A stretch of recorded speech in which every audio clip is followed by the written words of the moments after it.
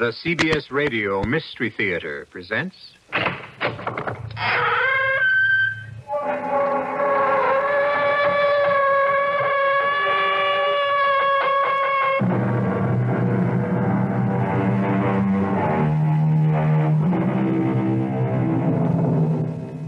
Come in. Welcome. I'm E.G. Marshall. A good name in man or woman, the great poet tells us, is the immediate jewel of their souls. True enough. And how valiantly, even desperately, all of us would fight to preserve and protect a good name. But would you also do battle to preserve or protect a bad name? Look at it this way. Suppose a bad name was the only name you had. Suppose it were a name that would make you rich and famous. What then? Would you give it up?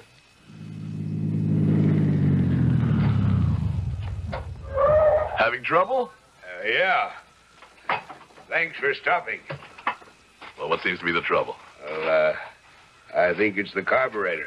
Well, let me take a look. Don't bother. Huh? I'm onto the game. You're working with Jim Kubik, aren't you? What are you talking about? Don't move. Mister, what are you pointing that gun at me for? I'm just going to kill you before you kill me. Kubik monkeyed with the carburetor, so I'd have to stop along here. Look, I figured you were in trouble and I wanted to help. Well, if you're religious, I'll give you a couple of seconds to pray. You got it all wrong. You look like you were in trouble. I only want. Oh.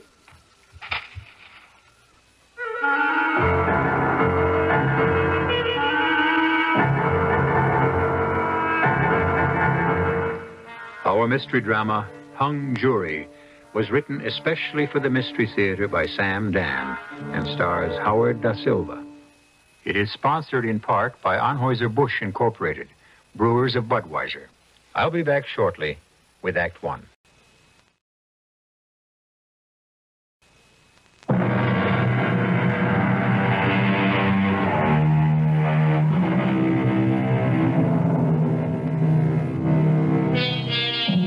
Exist in every country.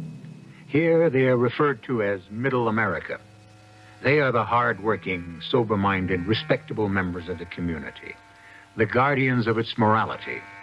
And one of their vast number is the hero, or more properly, the protagonist of our play. His name is Henry Pollard. He's 40-ish, bald, a bit plumpish, and like the character in the classic popular song, You'd pass him on the street and never notice him. And the only reason you'll notice him now is because we shall take you into his house, a suburban split ranch, where we shall confront him in an after dinner discussion with his wife. Henry, Uh, yeah? I'm afraid I did something you might not approve of this afternoon. Oh, there's not much danger of that. What was it? I. I volunteered you again. Did you? What for this time? Oh, the books at the church are so confused. And you said I would straighten them out. Ah, they need someone who. who's an accountant. I don't mind, Norma. You don't? Of course not. Well, I do. Now that I think of it, I. I, I just. Oh, dear. You're upset. Yes, yes, I'm upset. Let me tell you why. Louise Farnham, head of the finance committee, called me and said, Darling, our books are absolute chaos. Could Henry be a doll and straighten them out? Well, I said yes, without thinking. And then I said to myself, why? why shouldn't I, Norma? I'm an accountant. You're not the only accountant in the congregation. Why don't they ever ask Seth Burton or Tom Mosley? Well, Whenever something has to be done, the automatic reflex action. Call on Henry Pollard. I don't mind. You've been extending yourself for ten years. In the church, the school, the charities. And where did it get you? Where's it supposed to get me? Oh, nowhere definite, I suppose, but I don't think you're getting any real satisfaction out of it. Now, that's not true, Norm. What's all this? Why are you so upset? Because you're being taken for granted, and. And I think that rankles you. I think you're bored with your life. Norma, darling. No, you're 40. You're not really getting anywhere. I've got a promotion coming up. You, you haven't made a mark on the world, and you think being active in the community will somehow do something. But it hasn't. Darling, I, I'm very content. You don't use that word at 40. It's men like you who eventually break out, do something rash, desperate. What can I do to convince you that I'm happy with the way things are? Oh, I guess I'm being silly. I'm not even sure I understand what I'm saying. Oh, I hope that's not the office. Darling, if they need me, they need me. Hello. Hi, Precious. Who is this? Oh, you're not alone. Yes, Mr. McTavish. I remember you. Can you get away? Well, aren't you supposed to be in Los Angeles? Oh, I missed you, sweetie, so I came home. Well, if you need the figures, I. Oh, the way you say figures really makes me feel sexy. I'm sorry you missed me at the office. Oh, Angel, I miss you everywhere. I can't get enough of you. No, you people cannot do the annual report unless I check it out. Uh, where are you staying? Oh, baby, the champagne is cooling nicely. I see. Well, look, uh, this kind of thing really cannot be permitted. Pour it on. Suppose I weren't home this evening. Honey, I'd be so lonely, I think I'd die. Well, we'll have to make it short. But sweet. Save time, make sure everything's laid out and ready for me. Oh, Do you have to go out this evening? Well, these are the West Coast people. They were supposed to be here at lunch. They claimed their plane was late or something. No. They have their presentation tomorrow afternoon. Oh, well, what's the use in complaining? Darling, suppose you'd refused. That's not in my nature. I'm worried about you. Why? There's absolutely nothing to worry about.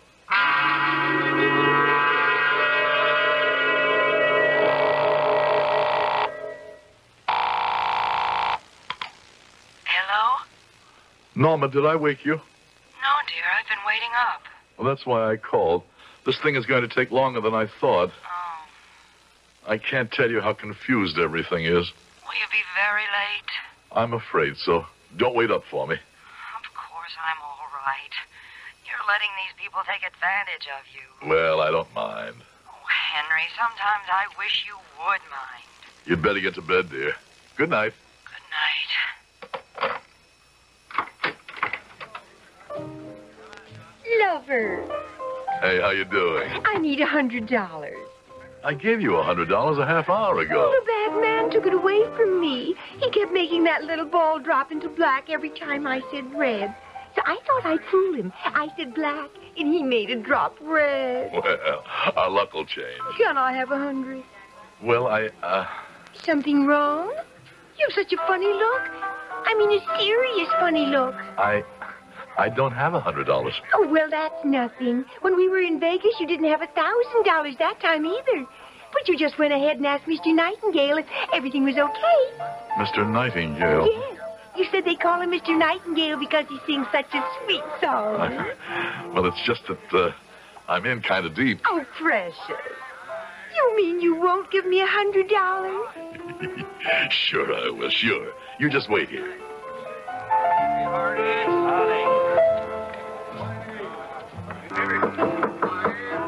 Come in. Well, Mr. Pollard, have a seat. Thank you. What can I do for you?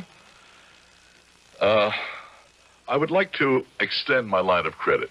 Mm, credits, credits, credits. The whole world's based on credit. Oh, well, let's check it out. Well, what are we checking out? Oh, we're completely up to date, Mr. Pollard. The dial on this telephone is hooked into a computer. In this little book, we have a roster of our customers' names, and besides each is his code number. Ah, let's see, Pollard, Pollard. Oh, yes. 091. And so we dial 091. And in practically no time at all, the computer prints out on this typewriter everything we need to know. No sooner said than done. Oh, my. Oh, my goodness. I'm afraid we cannot extend you any more credit. But you said. You said my credit was unlimited. Yes, yes, we said that, and it's true. Your credit may be unlimited, but you. You're the one that's limited. I don't understand. Well, now, sir, you are an accountant, true? Yes? And so you, of all people, should certainly have an orderly sense of finance.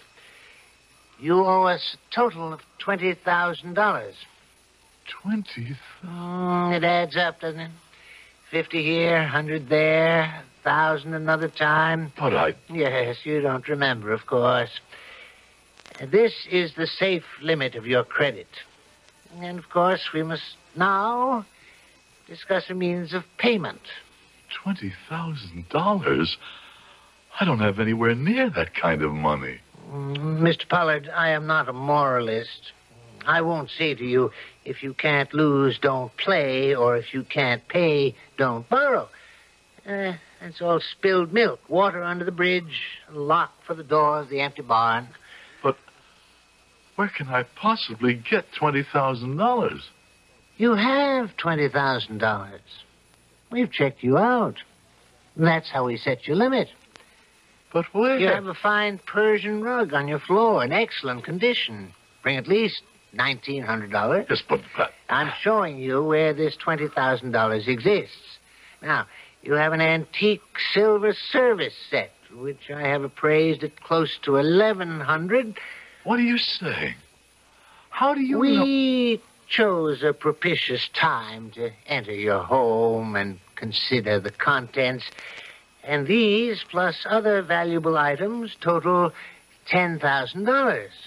But I can't For sell. the other 10, you can take a second mortgage on your house. You See, the money does exist.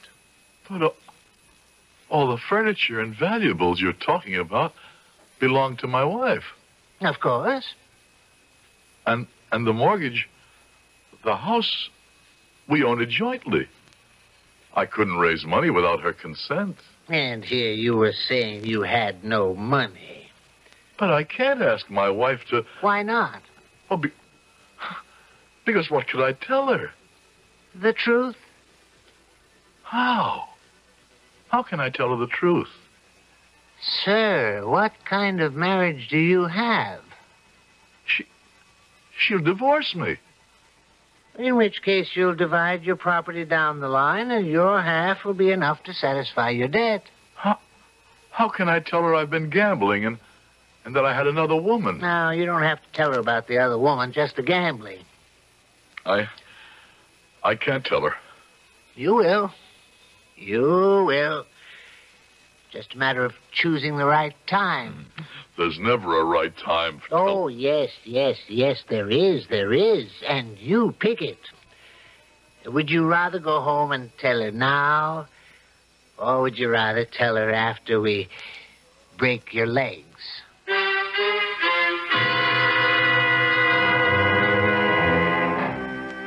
His name may be Mr. Nightingale, but the song he sings is more fitting for a vulture.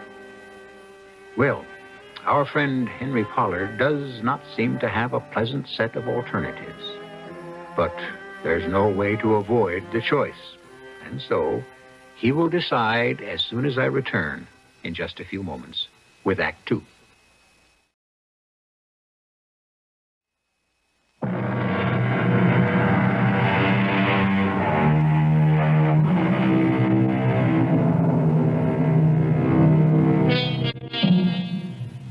A man walks what is called a straight and narrow pathway all his life, the law of averages insists that he will have to fall off eventually. And the distance he falls is usually related to how firm was his step in the first place. Henry Pollard must have been treading very lightly because he has fallen all the way. I can't do it. I can't tell Norma. Then there may be another alternative. Steal it. Steal it from your company. Steal it. I'm not a thief. Oh, yes, you are. You're willing to steal the money from me. And don't say that's different. I, I can't steal the money. Why not? You're an accountant. Oh, I don't handle money. I just keep track of figures. Well, then you just have to go home and test your marriage.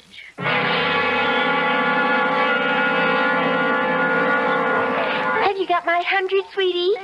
Huh? My hundred smackers. So called because I'll give you a kiss for each and every one of them. No. Let's go home. I don't want to go home. I want to play roulette. I don't have any more money. I know. That's why you went in to see Mr. Nightingale.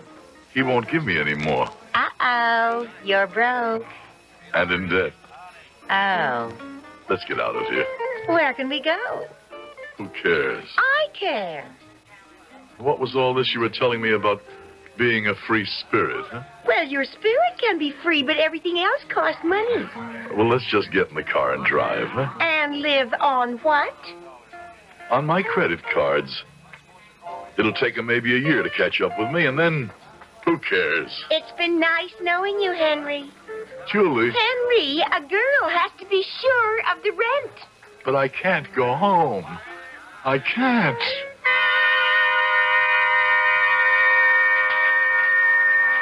My name is Henry Randall Pollard, and I intend to take my life with this pistol. I commit this act because I don't have the ability to achieve success, nor do I have the humility to live with failure. Nor do I have the courage to pull the trigger. No, I'm not afraid to die. I just am not willing to shoot. Because if I make it a suicide, then Norma and the kids will not collect the insurance. What I better do is have an accident. An automobile accident.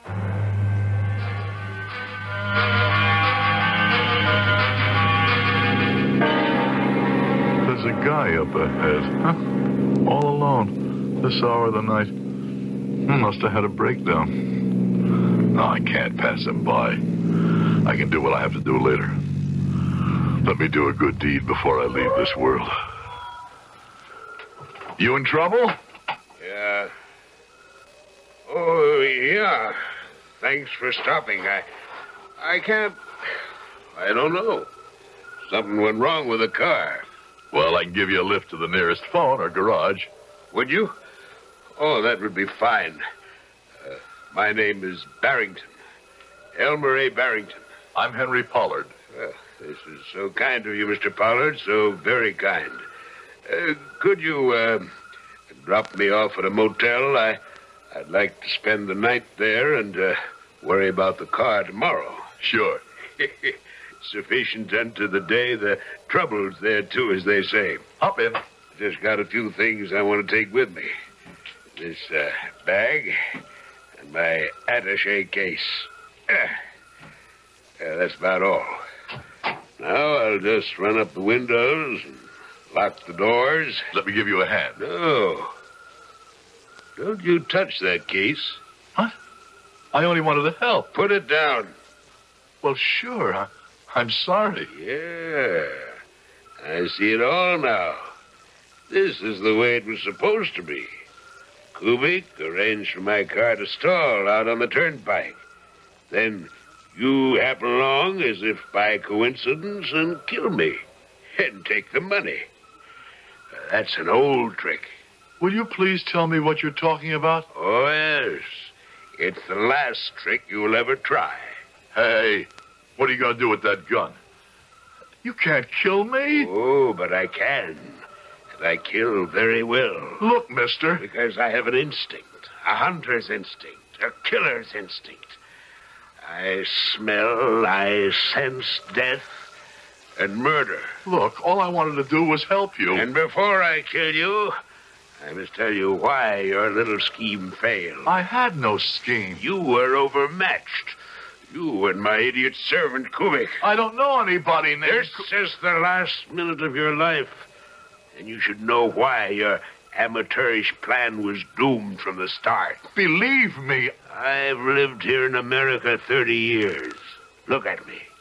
Listen to how I speak. I'm an American, a typical American, no? But my name isn't Barrington. It's von Barenheim. I killed a hundred thousand, two hundred thousand, who can count them? I pacified Warsaw for my Führer. The others, Goering, Himmler, Goebbels, Streicher, all dead, all gone, except me. Me, the one they call the werewolf of Warsaw. And now, you're dead too. Ah,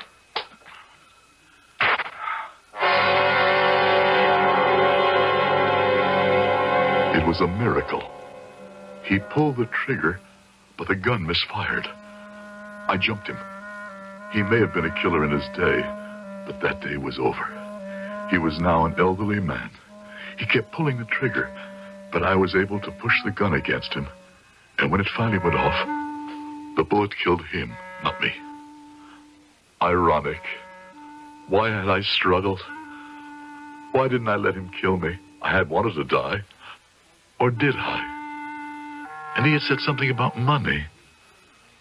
I opened his attache case. It was filled with bills. Twenties, fifties, hundreds, in neat bundles.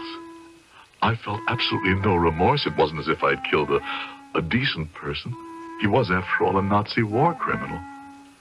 And why should I involve the police and try to explain? And why, why not? Why not just take the money, bury the attaché case a few miles down the road, and go home? Go home.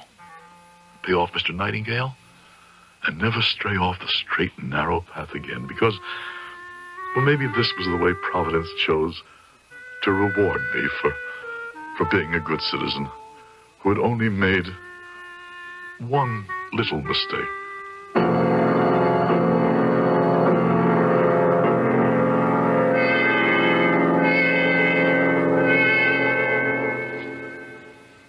Will you be home for dinner again this evening, Henry?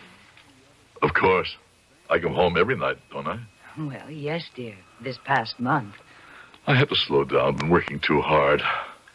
No more night sessions at the office. I'm glad you don't drive around so much at night anymore.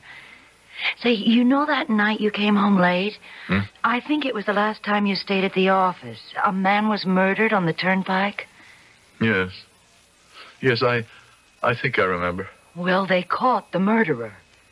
They what?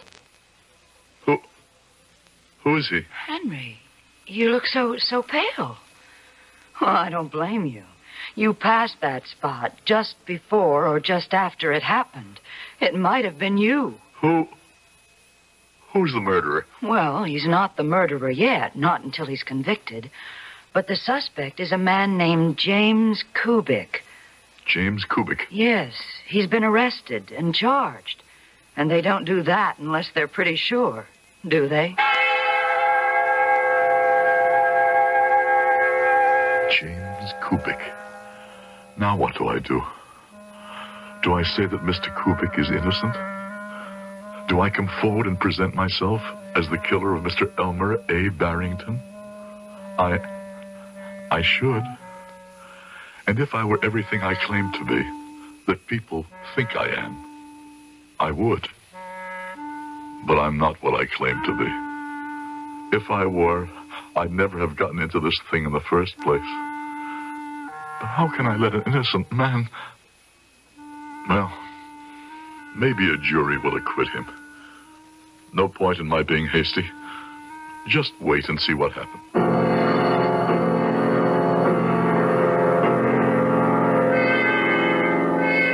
Was there any mail today, dear? Yes, I was going to call you at the office, but. Well, you received a summons for jury duty. I, I'm on the panel. Do you know who can get you out of it? Oh, why should I want to get out of it? Louise Farnham's husband, Howard. It's about time. Did you just ask why would you want to get out of it?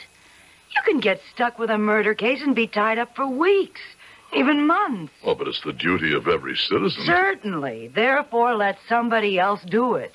No, dear. I'm afraid I'll have to accept my obligation. Mr. Pollard, you are aware of the fact that you're under oath. Yes. My name is Victoria Ullman. I am the attorney for the people. Do you know me? I do not. Do you know the defendant, James Kubik? No. His attorney, Mr. Kenneth Hayes? No. His honor, Judge Wilson? No. Did you know the deceased, Mr. Elmer Barrington? No. Do you know any of the jurors so far selected? No. Then you are not acquainted with any of the parties so far involved in this trial. That's right. And have you formed any opinions on the matter? No. You understand you will be sequestered for the duration of the trial, unable to go to your office by day or to your home at night? Yes. Your Honor, the people find Mr. Henry Pollard acceptable. I knew the questions were a matter of form. All the time she was talking to me, she was looking at me, trying to determine, maybe to guess, if I could be fair, or if I could even be prejudiced in her behalf. I breathed a sigh of relief. I was halfway home. I wanted to be on this jury. I wanted to be on this jury more than anything else in the world. But Mr. Hayes, the defense lawyer, he scared me. Mr. Pollard, the defendant's name, Kubik, does it suggest an ethnic origin to you? I, uh, uh, well, perhaps. What kind of origin? Oh, European? What kind of European? What kind? I'm not sure.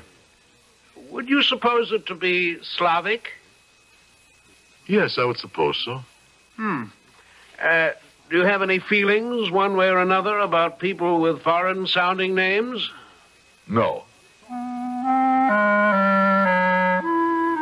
He looked at me very closely, very carefully. He was coming to a decision. I couldn't say a word. What I wanted to tell him was pick me. Pick me. I'll see to it that your client goes free. I know he's innocent. Choose me. But of course, I couldn't say that. I couldn't say anything. I could only wait and hope. Hope that somehow he would read something in my voice that would make him say, yes. It seemed he regarded me for an hour. But it had to be much less than a minute. Finally, he said, Your Honor, Henry Pollard is acceptable to the defense.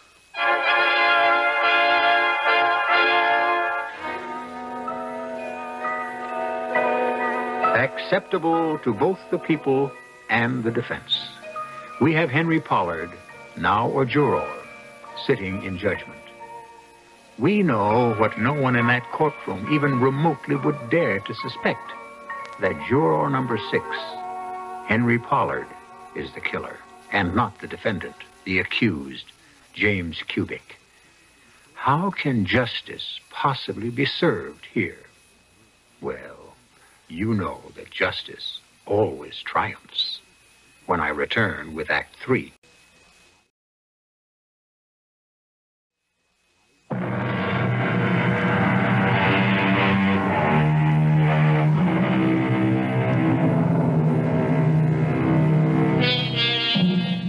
We have been observing the workings of fate on the life of one Henry Pollard. Henry Pollard is a typical citizen, outwardly. But inwardly, we are aware of other things. Henry has led two lives. One, a safe, sober, uneventful suburban existence. The other has seen him violate at least five of the Ten Commandments. Now, both lives come together in a courtroom where Henry, who has committed murder, is not in the prisoner's chair where he belongs, but in the jury box. And we will prove that the defendant, James Kubik, did, with all malice aforethought, plan and execute a scheme to murder his employer, Elmer A. Barrington. As she started to talk, I looked at the defendant very carefully for the first time. He was about my age, small. He had shifty eyes, which I suppose was not in his favor. He had a a nervous manner which didn't help either. But he had a right to be nervous. He was on trial for his life. I wanted to tell him, don't worry. I won't let you pay the bill for me. You're safe. I'll swing this jury for you. Mrs. Bronson, you are, were Mr. Barrington's housekeeper? That's absolutely correct. You worked for him for how long? Fifteen years. And what kind of a man was he to work for? A saint. What business was Mr. Barrington engaged in, Mrs. Bronson? He bought and sold. What? Anything. Everything. Stocks, bonds, houses, business. He was a very sharp, shrewd man. And was he accustomed to carrying cash with him in large amounts? Oh, yes. Thousands of dollars in that attache case of his. And when I'd say to him, Mr. Barrington, ain't that dangerous? He'd say, Well, I got Kubik to protect me. Hmm. Some protection that one turned out. The pistol he was carrying the night he was shot. The one that killed him, lying there on the table. Do you recognize it? Yes, ma'am. Belongs to Mr. Kubik. Will you tell us what happened the night of the murder? Well, Mr. Barrington had just got a phone call. And he said, I have to go upstairs and get my attache case. Get hold of Kubik, and tell him he has to drive me. Where's Kubik? I, uh, I'm right here, Mr. Barrington. Uh, what's the matter with you? I, You look like hell. Been drinking again? Oh, no, no, no, sir. I just feel sick. I can't let you drive me if you're sick. Is the convertible okay to take? Uh, yes, sir. I fixed the carburetor. Uh, come out with me and make sure. Mr. Barrington, I'll need some money to pay some food bills tomorrow. Oh, well, wait a minute. I got some here in my case. Will a hundred dollar bill cover it? Yes, sir. He opened that briefcase, and it was chock full of money. Well, I'd seen it before, so it didn't phase me none. But Kubik's eyes, they shone like floodlights. And then Mr. Barrington and the defendant left the room.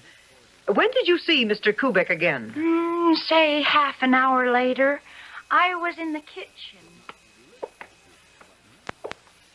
I thought you'd gone to bed. Yeah, I can't sleep. Where are you going? You mean I got to check in and out to you? I thought you were sick. I got to go out and get some air. You mean some booze? I got to get rid of a headache. Maybe if you went on the wagon. Ah, this is a good little thing you got here. You keep telling the boss I'm a lush, and then How come you get all them hangovers? I got headaches. From booze. No, from the boss. He can drive you crazy. One day, I am going to kill him. I believe you would, too. Ah, shut up. Where are you going? I said I was going out. Now, Mr. Kubik, you walked out to the garage with Mr. Barrington, Yes, I did. and you checked out the carburetor of the convertible, Yeah, I did that. and then you claim you gave him the pistol. Yes. Ordinarily, you would carry the pistol because you were also his bodyguard. Well, uh, yes, but I wasn't driving him that night. No one saw you give this pistol to Mr. Barrington, Well, nobody else was there. so we only have your word for it. Why would I lie? Why, indeed? Were you aware of the fact that Mr. Barrington carried large sums of money on his person? I didn't know what he carried. It was all in that case. Mrs. Bronson has just testified that Mr. Barrington opened the attache case in your presence and that it was filled with bills. I, I did not see it. I mean, I mind my own business. Somebody opens a private briefcase. I don't snoop to see what's inside. What have you to say to the testimony given by Mrs. Bronson that you threatened to kill Mr. Barrington? I didn't threaten to kill Mr. Barrington. Did you say, one day I'm gonna kill him? Well, did you? No, You didn't say it. but I. I did not mean it. I, I, I mean, why? Why would I kill him? Because he was strict. Because he may have insisted on a better job from you. Everybody says something they don't mean sometimes. Don't you? Don't you ever get mad at somebody? It was going from bad to worse. When you sit on a jury, you know how things are being taken by your panel mates. You can tell, well, by the way they breathe, the way they listen, the way they pay attention or, or pretend to pay attention. You can tell everyone's already leaning one way or the other, and they were leaning, leaning toward conviction. Unfortunately, it was, he was a terrible witness for himself. Didn't Mr. Barrington threaten to fire you? No. Uh, yes. And isn't it true that the real reason he kept you is because you were willing to work for low wages? Well, I, I, well, Why were you willing to be underpaid, Mr. Kubik? Well, uh, jobs are hard to get. Especially for a man with a criminal record. To compound the damage, Kubik had served time for assault. He had almost killed a man. There may have been some justification, but I could see he was gone. And yet, I couldn't let him pay the bill for me? Or could I? But what could I do? Stop the trial and step forth and confess? No, I, I couldn't do that either. And then, then it occurred to me there was a way. He would be found guilty, but I could make him a hero. He would get off easily. All I had to do was somehow get word to his counsel. Your Honor, I wish to recall the defendant to the stand. I do this because we've come into possession of a piece of evidence which casts an entirely new light on this case. Mr. Kubik, you came to this country from Poland Yeah. While in Warsaw during the war. Had you ever heard of a man named von Barenheim? My memory ain't so good. Uh, Uh, you were an officer in the Polish army, were you not? yeah, I think I was a lieutenant. I don't really remember. When the Nazis overran Poland, special Gestapo execution squads hunted down most of the Polish officers. I think that's what happened, but I, I, I don't remember. I was in prison. I, I, I find it hard to remember. I get headaches. The leader of the execution squads was Colonel Fritz von Barenheim. He was known as the werewolf of Warsaw. Do you remember him? People think I get drunk all the time, but it's just that I have this headache. He was a oh. war criminal. Hundreds of thousands died because of his atrocities. Now, we have been able to determine that this von Barenheim escaped to America and changed his identity to Elmer A. Barrington. I, I, I got a headache now. But you, one night you recognized him. Something happened. He gave himself away. Filled with completely human, absolutely understandable desire for revenge, in a fit of emotion you simply could not control, you killed him. No. I did not kill him. You killed him to avenge your dead and tortured countrymen. I never killed anyone. Ah. The air was changing in that jury room. I could smell it. They were leaning forward and looking at him now. For the first time, they saw him as a human being. I glanced at the lady on my left. A tear was running down her cheek. But the idiot, he was too stupid to see his only chance was to confess. Confess, you fool. Confess, and you're a hero. His lawyer was working desperately to make him see it. It doesn't lessen your guilt, but it makes it human. Thou shalt not kill, the book tells us. But how do we answer those who understand only death and murder? You're a hero. You've avenged a million crimes. Your name will go down in history as the Avenger of Warsaw. I. I would not kill anybody. This, this stupid, cringing coward. He was being offered immortality, and he didn't have the courage to accept it. He would have a place in history. He would be somebody.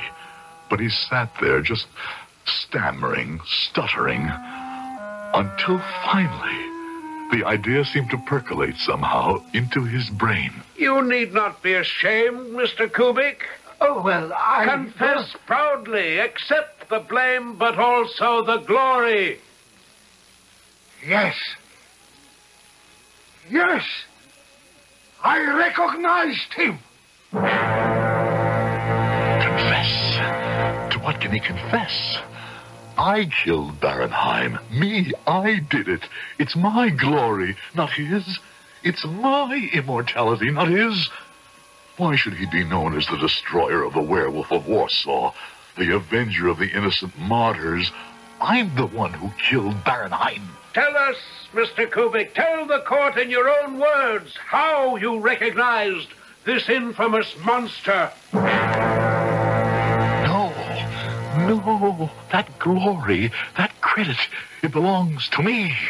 I won't give it away. I won't give up a place in history. I won't. It's mine. Tell us, Mr. Kubik.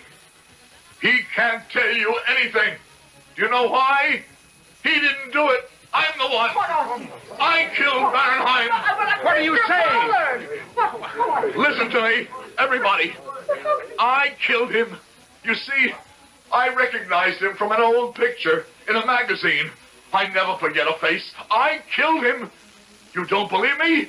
I'll show you where I hid the attaché case. That'll prove it. Prove that I, Henry Pollard, killed the werewolf of Warsaw. Let the whole world know that I killed him.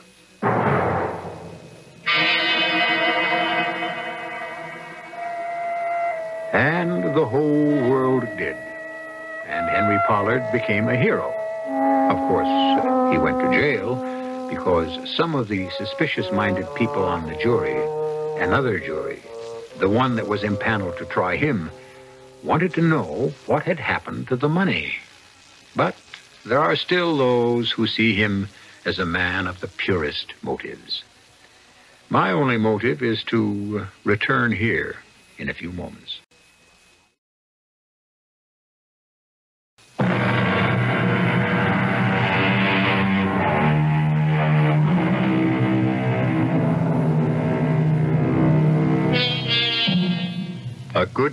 Is a treasure, but a bad name can also hold a certain value.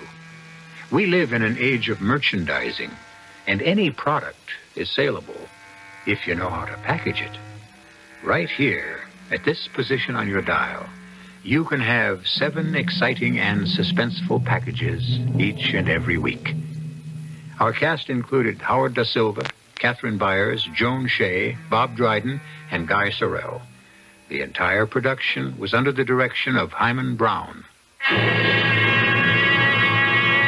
And now, a preview of our next tale. Well, Paul, what do you say now?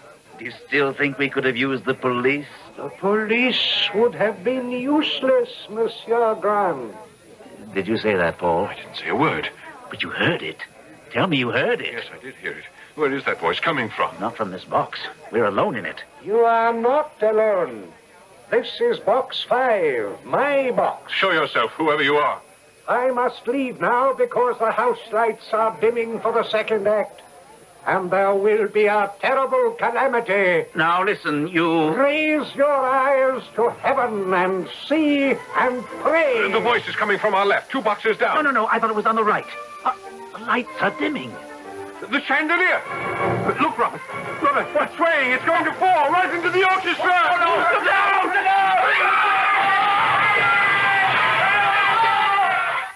This is E.G. Marshall inviting you to return to our Mystery Theater for another adventure in the macabre. Until next time, pleasant dreams.